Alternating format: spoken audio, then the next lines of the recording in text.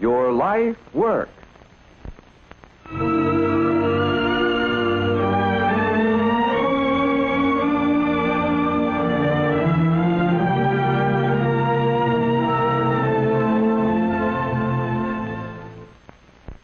The miracle of high-speed wire communication is commonplace today.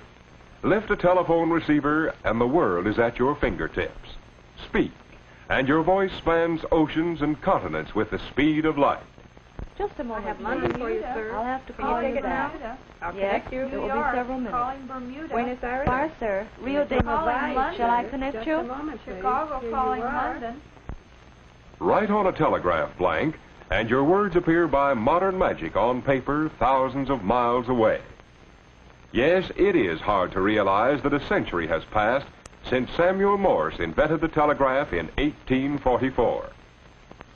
Early equipment was crude and handmade, but telegraphy made rapid progress as the years went by and went forward with America's expanding frontiers. Today, Western Union operates a vast network of two million miles of wire, furnishing swift, reliable communication.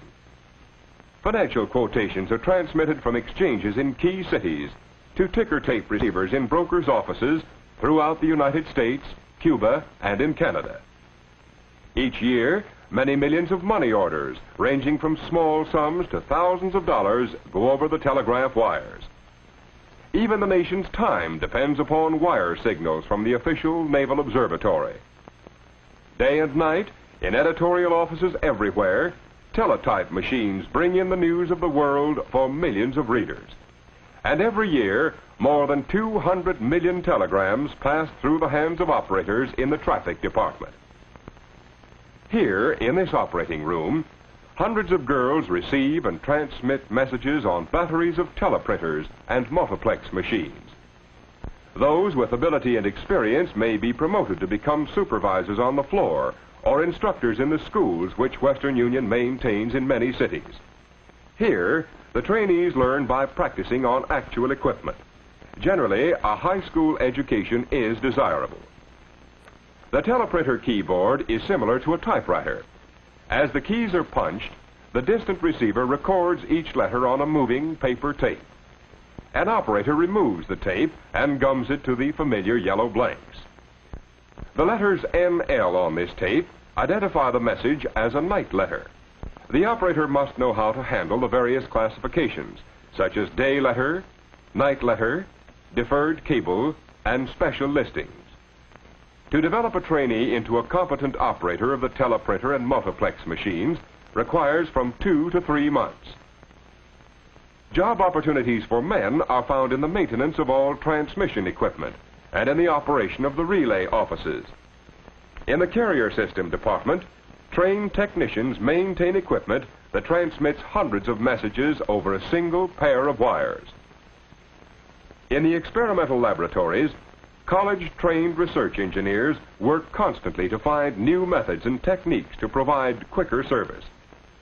One of these developments is radio beam telegraphy, transmitting 1,040 messages in each direction simultaneously through a series of high towers.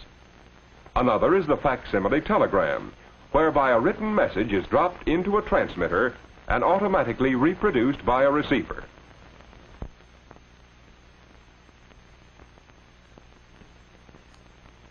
Men also are needed at the switchboards which control circuits between offices and in supervision of departments, as well as general executive positions. Typical of these is the traffic manager, who is responsible for the efficient dispatch of all messages through the traffic department. Construction of new branch offices and maintenance of existing buildings and properties is the function of the plant department. New equipment is installed and wired by equipment men and installation experts from this department. Teleprinters and multiplex machines are in constant use and require inspection by trained testing and regulating men so that sudden breakdowns may be avoided. In the commercial department are handled most transactions with the public. In addition, this department employs about 15,000 messengers to pick up and deliver messages.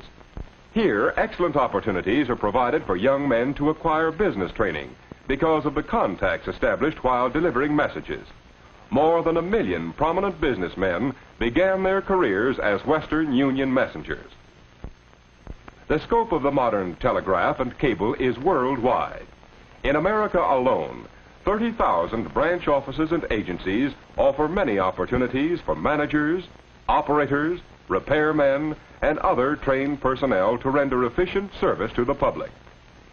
It's a far cry from present-day telegraph facilities, the early beginnings of the 19th century. Similarly, it's a far cry from the first telephone developed by Alexander Bell in 1875. In the early days, switchboards were operated by men and service was crude. Today, modern facilities handle more than 100 million calls every 24 hours. These calls flow at the rate of 1,000 per second through a telephone network using enough wire to string a line to the sun more than 90 million miles away. This tremendous system provides job opportunities for half a million employees with a wide range of interests and capacities, from outdoor work with field crews to intricate research work in the experimental laboratory.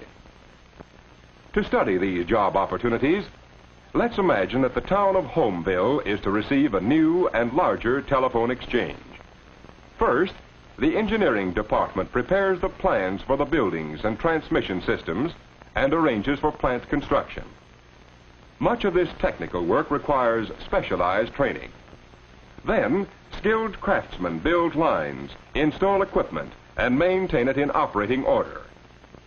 After construction is completed, a large number of operators are brought in to staff the switchboard under the guidance of supervisors.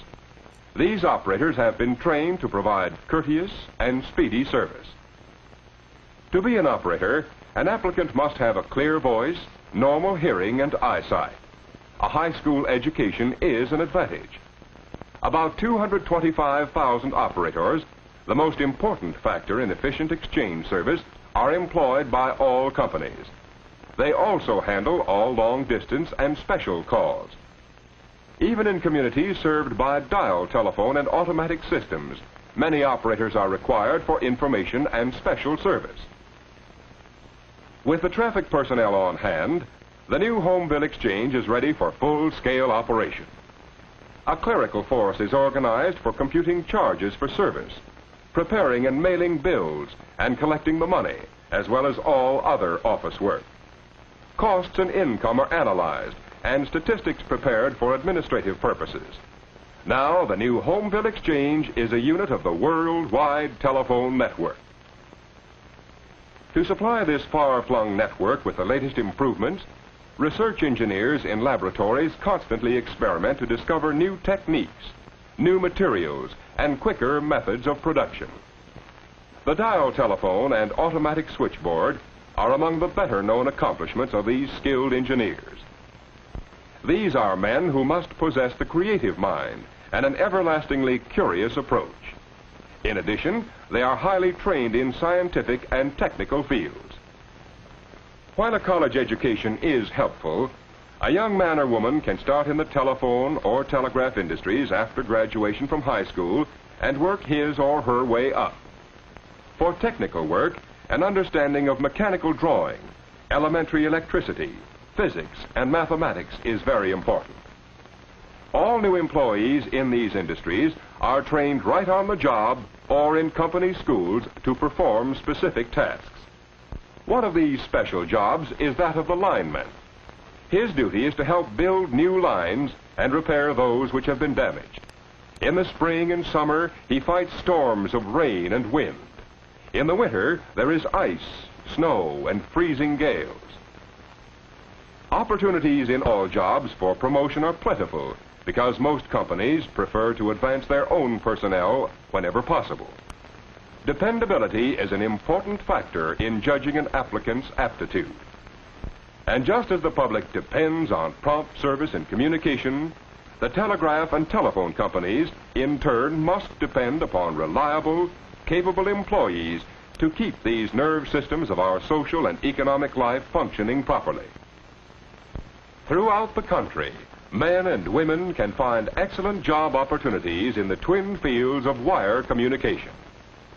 These are jobs with stable employment for a wide range of aptitudes and ambitions. If you are the sort of person who finds satisfaction in contributing to the service of other people everywhere, then telephone or telegraph communication may become your life work.